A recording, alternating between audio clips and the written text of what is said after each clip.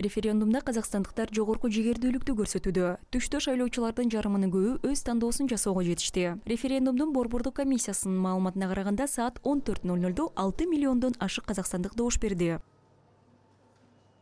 республикалык референдум белгилей кетчү нерсе республикалык референдум жөнүндө казакстан республикасынын конституциялык мыйзамынын экинчи беренесинин отуз биринчи пунктуна ылайык эгерде референдумга катышууга укугу бар жарандардын жарымынан көбү добуш берүүгө катышса референдум өттү деп эсептелет жартысынан көбү дауыс берүүгө катышкан болса референдум өткөзүлгөн деп саналатынын айтып өткен жөн. Чет өлкөдөгү казакстандыктар дагы референдумда активдүү добуш берүүдө. Бул тууралуу тышкы иштер министринин орун басары роман василенко билдирди.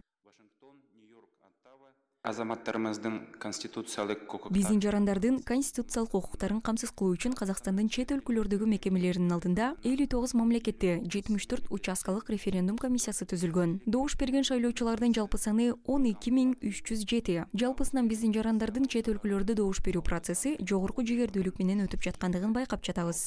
Чет элдеги азаматтарыбыздын добуш берүү үрдүсү жогору белсендүүлүк өтүп жатканын байкаудамыз. Бул жаатта белгилей кетчү нерсе бүгүнкү күндө референдумдун көшөгөсүн ачкан. Жана акыркы болуп жабыла турган шайлоо комиссиялары чет өлкөлөрдө жайгашкан. Албетте мунун баары убакыт айырмасынан көз каранды. Ушундан улам кээ бир сайттар азырынча ачыла элек